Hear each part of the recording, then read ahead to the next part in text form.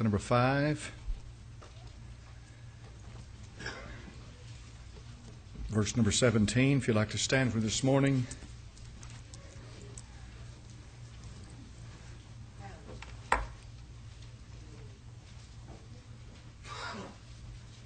The fifth chapter of Matthew is the Sermon on the Mount.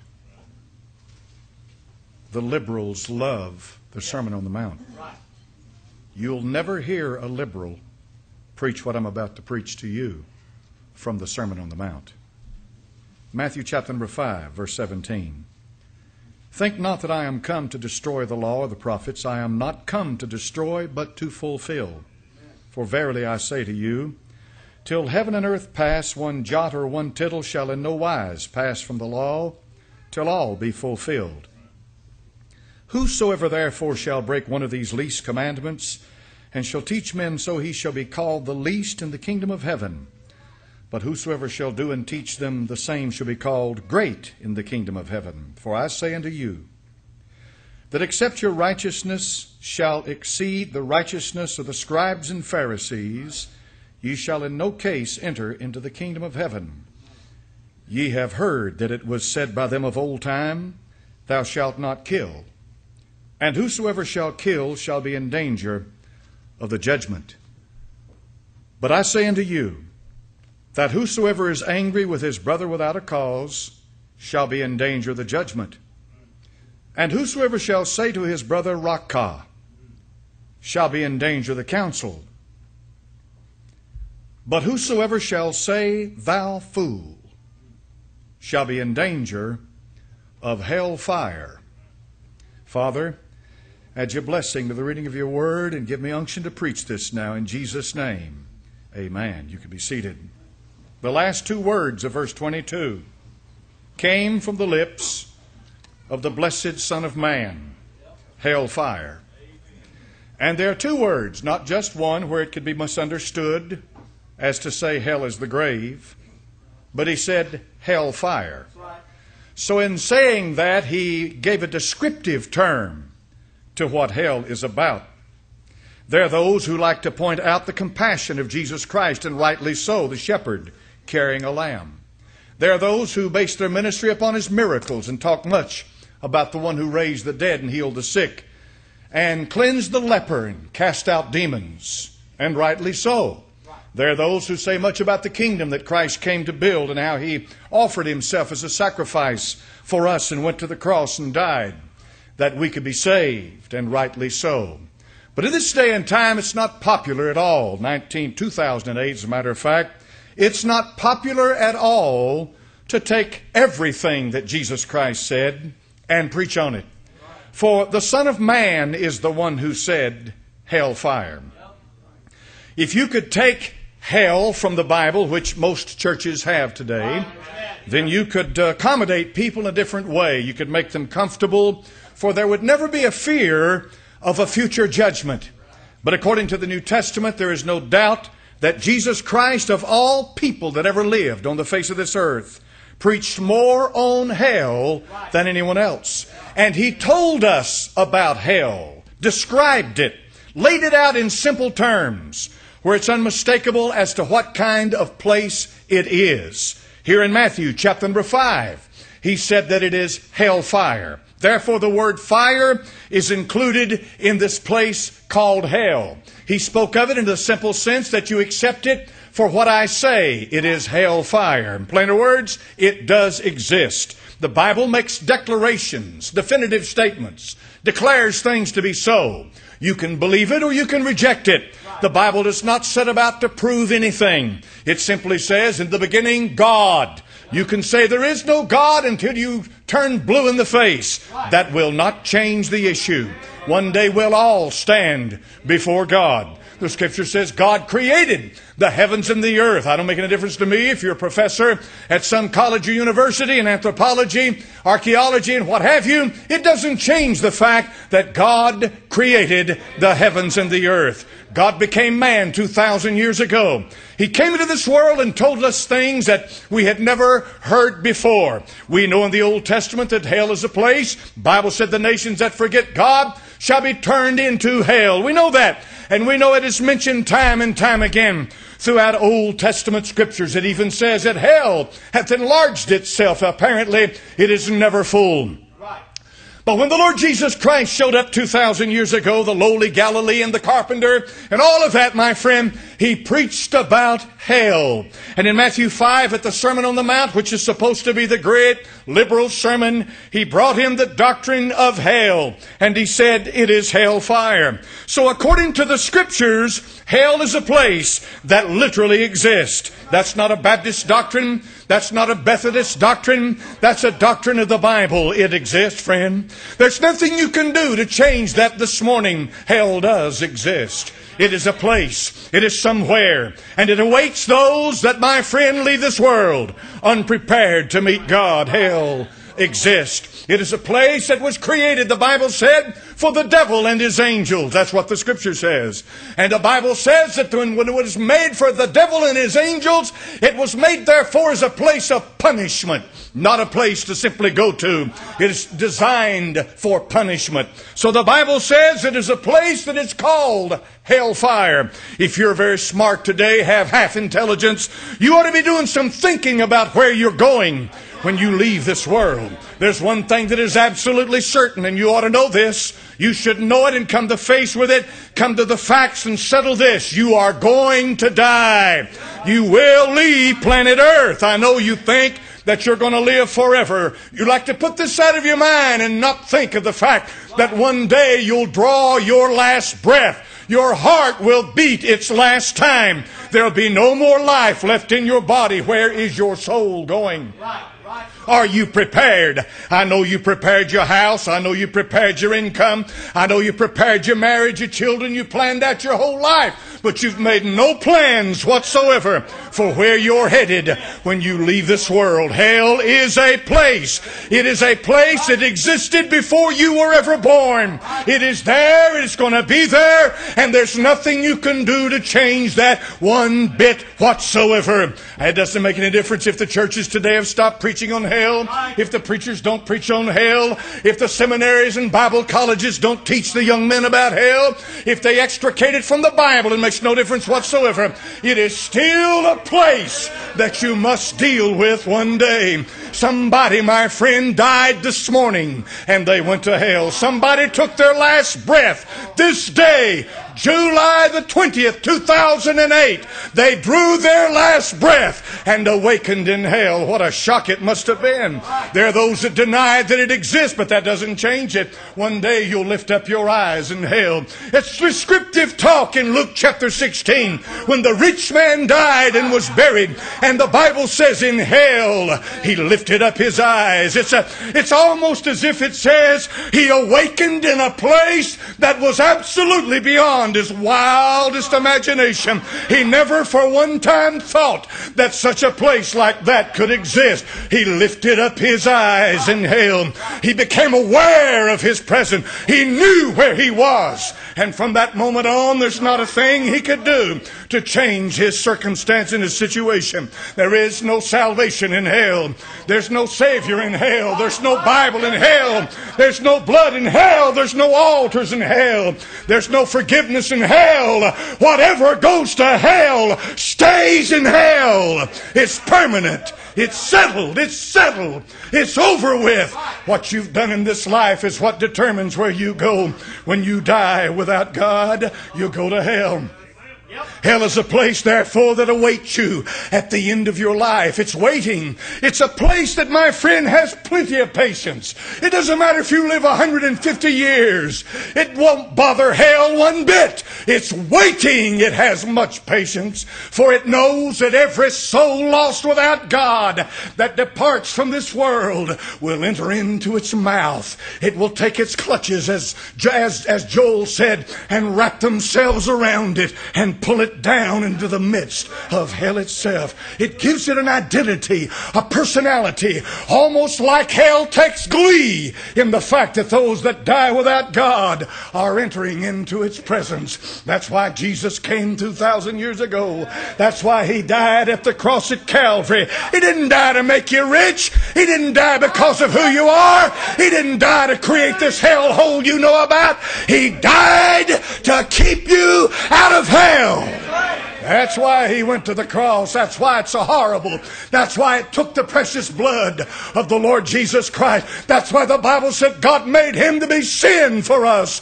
who knew no sin. That's why Calvary was so horrendous because he would keep you out of hell. There's only one name on the face of this earth that can keep you out of hell. It's not Baptist. It's not Methodist. It's not Presbyterian. It's not Catholic. It's not Jew. There's just one name that that can keep you out of hell, and it's the name of Jesus. Folks use that name day in and day out. They use the word hell day in and day out. They become desensitized to it. It has no meaning anymore. It has no punch to it. It doesn't grab the soul and the spirit. And that, my friend, was born in hell itself. Satan created that. You become so familiar with the word that it's just part of the average language of, the, of people who walk to and fro on the street. But hell is still existing. Nothing has stopped it. It burns to the lowest hell. That Bible says in Hebrews chapter number 12 and verse 29. Our God is a consuming fire. There's holiness about God. If you could go into the presence of God unsaved, He would literally annihilate you. You'd rather be in hell in a heartbeat than to come before a holy God. Thrice holy, holy, holy, holy. Dare walk into the presence of God without the blood covering your soul. You'd scream for hell. You'd beg for hell. You'd cry for hell. And yet I firmly believe hell burns because of the holiness of God. That's what hell is about. It's about a place that you go to without God. Somebody said hell is separation from God. Who told you that? Where's that in the Bible? Find it from Genesis to Revelation. Well, I heard the greatest evangelist say that. Didn't make any difference what he said. What does the Bible say? He'll be dead and gone, and another generation will come on. Then another generation will come on. Then another generation will come on. What does the Bible say? We're judged by the book, my friend. What does the Bible say? Well, preacher, I want to tell you the truth. I've never read it. That's the truth. Most Christians haven't read it. They've never read it through from Genesis to Revelation. The sad state is that in the church today, most people are as ignorant of the Bible as they can be. That's why they can be tossed from one church to the next church, one doctrine to the next doctrine. It's because we are such a flim flam bunch because we don't know anything about God or His Word. It's a sad commentary, but the Bible has not changed. Hell is real. I'm not going there. Jesus Christ said in Matthew chapter number 5 Hellfire. Oh, if I thought for a moment I was going to hell, I don't think I could sleep, sleep tonight. If I thought for a moment that I may, I may die. I, my, my, my body may cease today. My heart may beat its last. This may be my last day on planet Earth. It may be your last day on planet Earth. You may be totally, completely physically healthy right now, but something takes your life away. You could die before the sun goes down. Your body be lying dead in the morgue down here somewhere, and they'll be having your funeral a couple of days from now. Where will you be?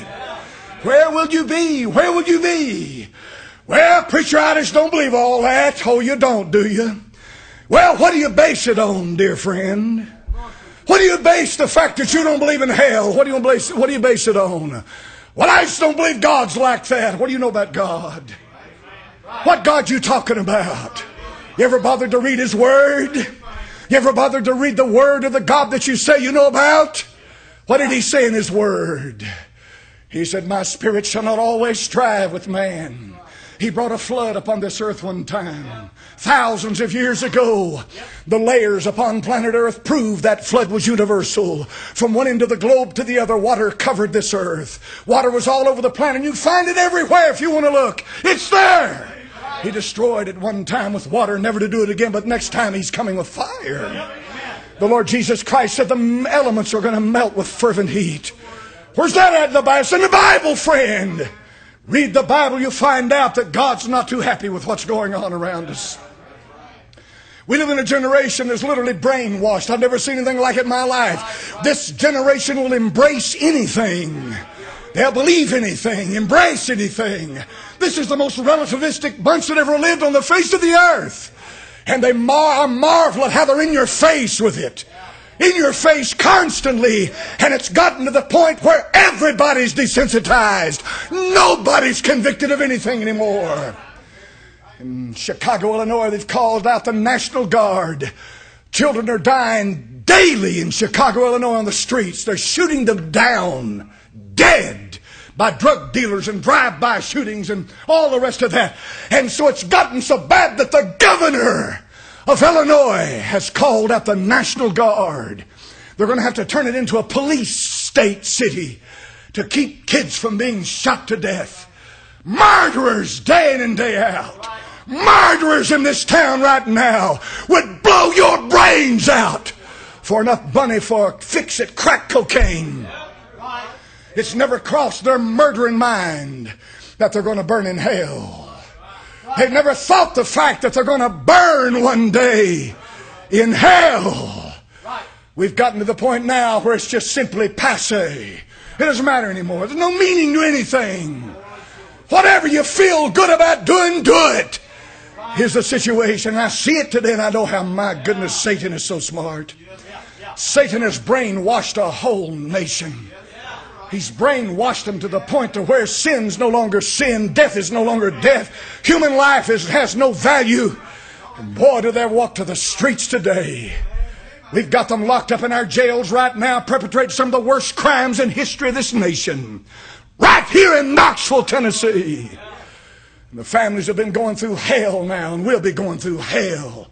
They keep postponing the dates of the trials time and time again. Some of the worst murdering that ever happened. If those men had thought that one day they're going to die and drop off into hell and burn forever, it might have caused them to take note. And without Jesus Christ, they will drop off into hell and they will burn forever. Hell is full of murderers.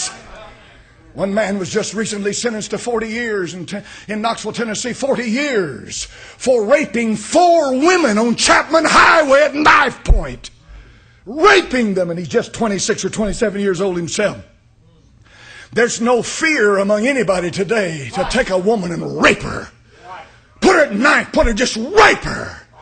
He'll go to hell without Jesus Christ. You didn't hear about that in the news. You don't read in the papers because they don't scare you to death. You live in an insane society, for there is no fear of God in their eyes.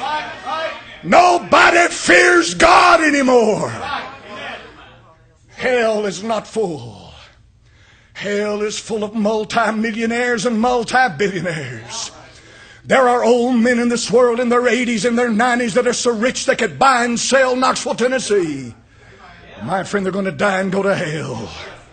Yes, they will. They'll die and they'll go to hell. There are politicians running this world right now that one day they'll step down from the kings and the queens and the presidents and the parliamentarians and they'll go to hell one day. Hell is full of kings.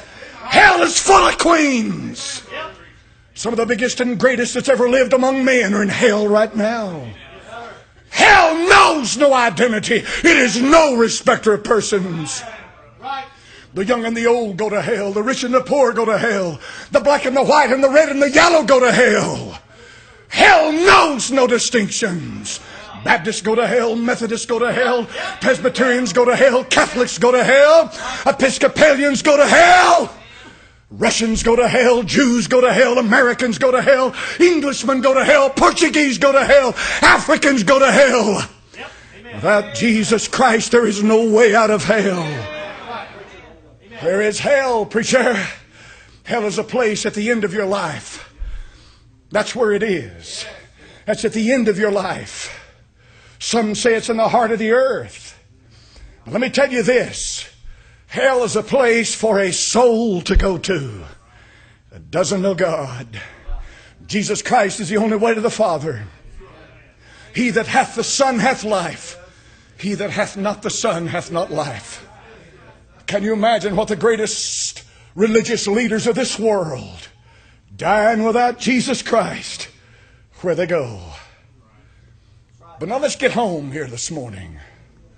I'm not preaching to them 10,000 miles from here. Right, right. Amen, preacher. I didn't get up here and say, listen, America. listen, Woodrow Drive. Yes, sir. Amen, amen. Some of you in here are going to hell.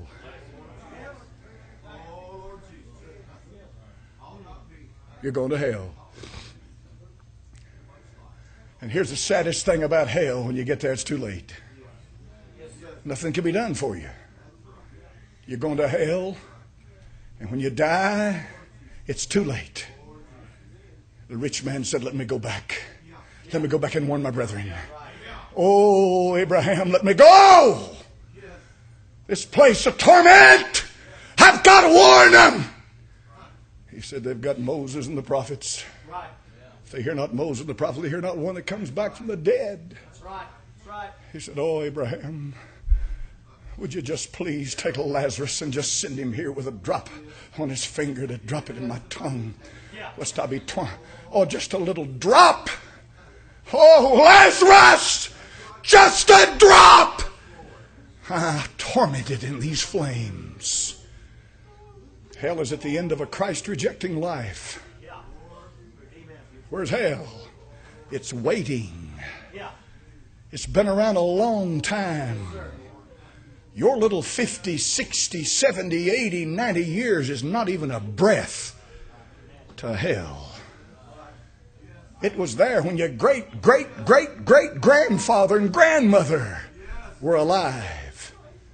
And they were dying then and going to hell. I've often thought about this when I walk through old graveyards. I look at the old tombstones. We've got Revolutionary War soldiers buried around here. We've got soldiers from the, the, um, from the war between the states. We've got soldiers from the Spanish American War. We've got a huge military cemetery over its old grave. It's got huge military crosses everywhere. And you've got some of the finest in Knoxville, Tennessee that ever lived. Governors are bur- buried over there in Old Gray Cemetery. You've got mausoleums in this town. You can walk by these mausoleums and you know at the time they built them, late 1800s, early 1900s, cost thousands of dollars. These people had money. You can walk through a graveyard. All you got to do is look around. And you'd be amazed at the history lessons you can learn just walking through a graveyard. And I've often said to myself, wonder where he is. Wonder where she is. Wonder where they are. Wonder where they are. Wonder where they are. Right over here's a lieutenant, just right over here. I used to run by his grave all the time. Lieutenant from World War One mausoleum. Captains, majors, generals, governors, mayors, doctors, lawyers, buried right here within 200 feet of where you sit. Right here, just a stone's throw. I can walk out that door right there. I can throw a rock to one of the biggest graveyards in this town. Every one of them lived their life and died and went somewhere. And if the Lord doesn't come back soon, you'll live out your little short life. You'll die and you're going to go somewhere. Are you ready? How do I stay out of hell, preacher? See, that's the good thing. I don't want to go to hell, preacher. That's good.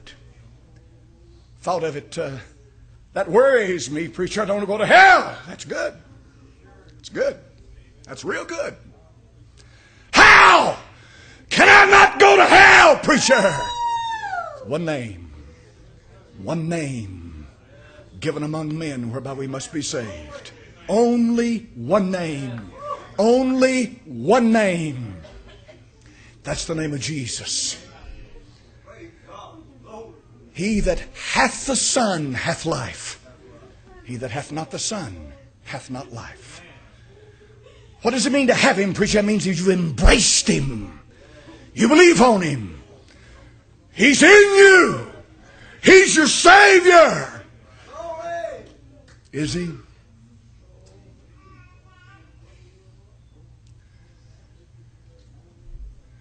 Just recently, a man got a few months in prison for killing a 17 year old girl within three or four miles of where you're sitting right now. 17 years old. Killed her. He crossed over, slammed head on into her, killed her. Didn't kill her on the spot. She went to the hospital and called her mother and was talking to her and said, I, I believe I'll be okay, Mom. But she didn't know her liver had been cut in two. She's bleeding to death internally. Well, Caesar gave him a few months for killing that girl. How'd he do it? He didn't do it intentionally. I think he was dialing text messaging on his cell phone. If Caesar really cared about your life, he wouldn't be hollering about seatbelts. He would immediately stop cell phone text messaging. There'd be no argument. No argument. I get so sick of the hypocrisy, I can't stand it. It's garbage. But in any event, 17 years old now. She's a good Christian girl. She's with the Lord. But she's just 17. 17. We got a whole lot of 17 year olds in here, and 18 and 19, 20, 16, 15, 14, 13. 13 year old got killed this last week. Right here in this community, right here in this area. 13 years old, dead. One little boy got killed just a few days ago riding a bicycle. Dead. Dead. Children getting killed all the time. Dead. You're going somewhere. Are you ready? Are you ready? Let me tell you where hell is. It'll be at the end of your life. If you don't know the Lord, it'll be waiting. Father, in Jesus' name, I preached what you gave me, Lord. You gave me this a long time ago, and I preached it. and that's all I'm going to say. I preached the word. Now, Lord, use it for whatever purpose you intend to do with it this morning. In Jesus' name we pray. Amen. Stand up here this morning.